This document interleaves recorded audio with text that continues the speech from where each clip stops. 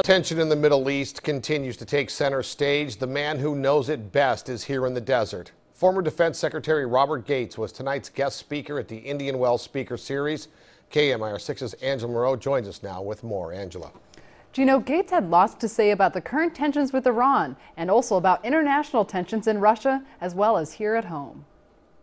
I think Iran is not a, a military threat to the United States itself uh, at least for now. Uh, but they are an enormous threat to the stability of the Middle East, which is a vital national interest for the United States.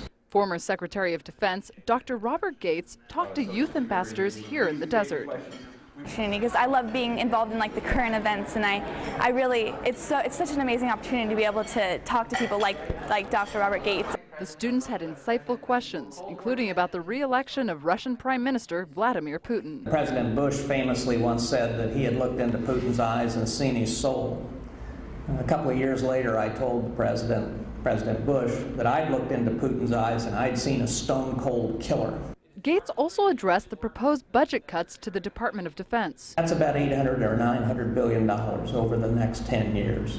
If we do that, I think we will still uh, have by far the most powerful military forces in the world. Dr. Gates has served under eight presidents on the National Security Council, as Director of Central Intelligence, and as the Secretary of Defense. He talked about serving with both Presidents Bush and Obama. And for those who comment on and ask, how could you possibly serve two presidents who were so different politically and in personality and everything else?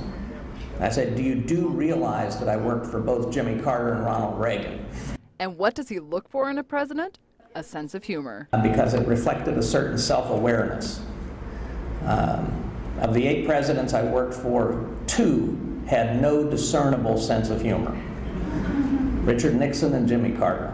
I rest my case.